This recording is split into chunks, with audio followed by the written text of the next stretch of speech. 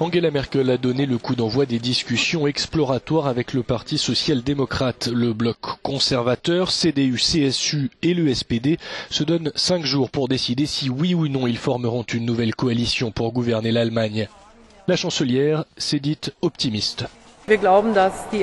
Nous pensons que les tâches qui nous attendent et pour lesquelles nous avons le mandat des électeurs sont énormes, que ce soit les défis en matière d'affaires étrangères, les défis en matière de politique européenne ou bien la politique nationale.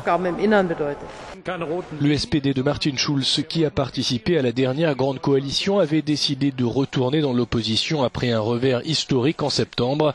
Il a depuis changé d'avis.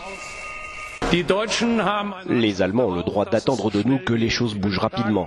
Cinq jours d'exploration, ça devrait suffire pour décider si nous avons assez de choses en commun pour commencer des négociations de coalition. Comme vous le savez, cela sera décidé pendant le congrès de notre parti.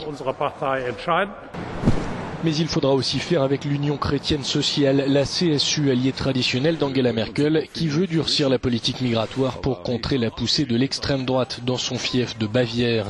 Ce n'est pas du goût des sociaux-démocrates, dont beaucoup estiment que le parti aurait bien intérêt à se refaire une santé dans l'opposition plutôt que de servir d'appoint.